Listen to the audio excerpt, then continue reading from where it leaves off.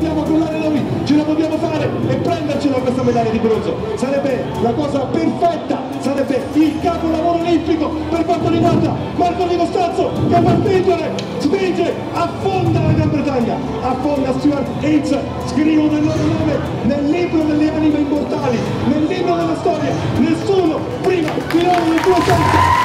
Oggi abbiamo festeggiato il ritorno di Marco Di Costanzo dalle Olimpiadi di Rio con la medaglia di bronzo. Per noi, per il nostro istituto, è sempre un grande motivo di orgoglio vedere un nostro ex allievo che ha un successo nella vita, che sia lavorativa, che sia sportiva, è comunque per noi un grandissimo motivo di orgoglio. E ringraziamo sempre Marco anche per i successi futuri quando ci vorrà venire a trovare.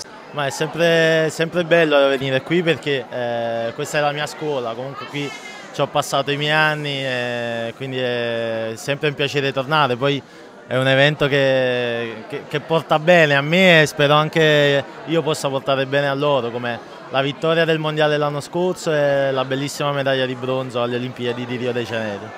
A Rio in barca gli ultimi 50 metri, a cosa hai pensato?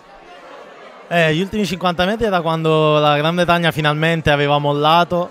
Eh, già iniziava a crescere questa, questa, questo sapere di aver, preso, di aver vinto questa medaglia e lì veramente eh, posso dire appena arrivato ho urlato perché volevo eliminare tutte quelle tossine che avevo accumulato nei giorni prima perché cambiando barca pochi giorni prima di partire per Rio non è facile però eh, abbiamo dimostrato di essere dei grandi campioni.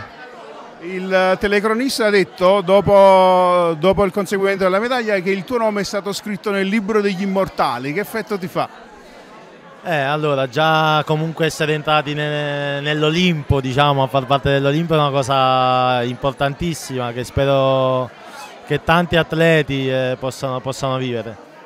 Eh, beh, essere oggi ricordato comunque per una medaglia alle Olimpiadi fa piacere, però da, mi dà anche diciamo, la forza per continuare perché sono giovane e voglio fare ancora tanto.